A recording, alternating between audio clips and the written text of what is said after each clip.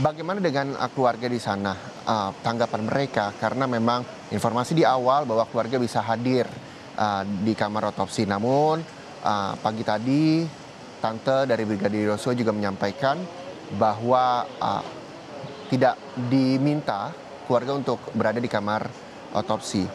Seperti apa uh, keluarga menanggapinya dan hingga siang ini respon dari keluarga bagaimana, Dian?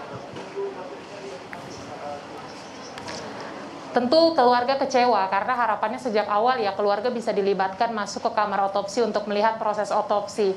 Tetapi berdasarkan pernyataan dari pihak keluarga, eh, termasuk tantenya yang pagi tadi juga berbicara dengan kami, tim di lapangan, eh, setelah mendengarkan eh, penjelasan dari tim forensik bahwa memang eh, ada hal-hal yang tidak boleh dilanggar seperti misalnya eh, kode etik begitu ya, kemudian juga alasan-alasan medis ini yang mengharuskan uh, pihak keluarga tidak ikut terlibat dalam ruang otopsi begitu. Karena ini harus menjaga profesionalisme uh, tim forensik, kemudian juga ya kalau ada kehadiran keluarga malah dikhawatirkan nanti akan menghambat karena waktu proses ekshumasi saja ini keluarga uh, kita ingat ya pagi tadi masih cukup histeris begitu masih berat emosional apalagi kalau uh, sampai masuk ke kamar otopsi nanti malah uh, ya dikhawatirkan akan sangat mengganggu dan uh, mengganggu konsentrasi uh, tim forensik. Nah makanya disampaikan oleh pihak keluarga ya mereka uh, sudah menerima apa yang menjadi keputusan tim forensik karena ya alasannya bisa diterima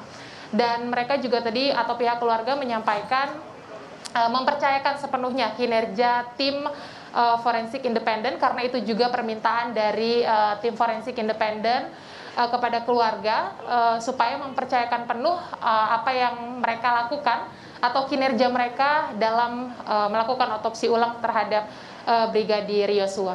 Iya, Dian Silotonga, sekali lagi bisa Anda pastikan ya bahwa otopsi ulang jenazah Brigadir Yosua telah selesai dilakukan.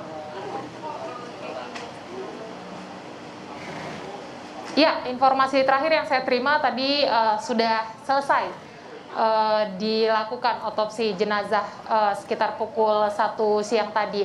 Tentu uh, setelah proses otopsi selesai dilakukan seperti yang sudah saya jelaskan ini tinggal menunggu skema-skema atau alur selanjutnya mm -hmm. yakni langsung dilakukan uh, pemakaman ulang dari jenazah dan ya kita tunggu nanti bagaimana keterangan dari pihak uh, eh, RSUD Sungai Bahar hmm, sudah disiapkan ini di belakang saya uh, untuk nantinya akan dilakukan konferensi pers kita nantikan nanti pernyataannya terkait dengan detail uh, otopsi yang dilakukan hari ini.